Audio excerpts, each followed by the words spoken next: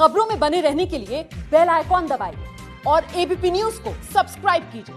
फिर लिए चलता हूँ आपको अयोध्या की तरफ़ और अयोध्या में किस तरह के सुरक्षा इंतज़ाम है वो जायजा लिया है मेरे सहयोगी रणवीर सिंह ने।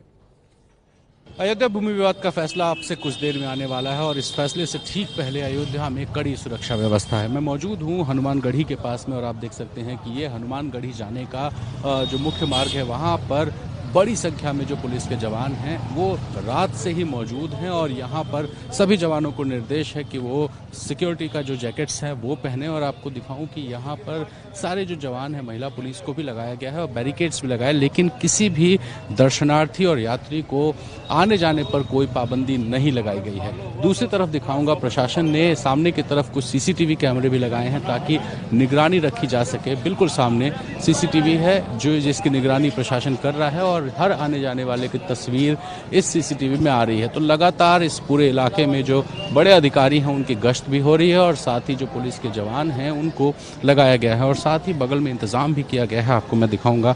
कि आप देखिए कि बैरिकेड्स वगैरह रखे हुए हैं, बाढ़ लगी, रखी हुई है कि ज़रूरत पड़ने पे इसका इस्तेमाल किया जा सके और साथ ही जो जवानों की संख्या है, वो जैसे ही पता चला रात में नौ बजे की कल कल मतलब आज फैसला आने वाला है, यहाँ पर संख्या बढ़ा दी गई। तो लगातार बड़े अधिकारियों की गश्त यहाँ हो रही है, सुरक्षा के जवान तैनात किए गए हैं और हर किसी की चेकिंग ज़रूर हो रही है, लेकिन आवाजाही पर फ़िलहाल अयोध्या में कोई रोक नहीं है।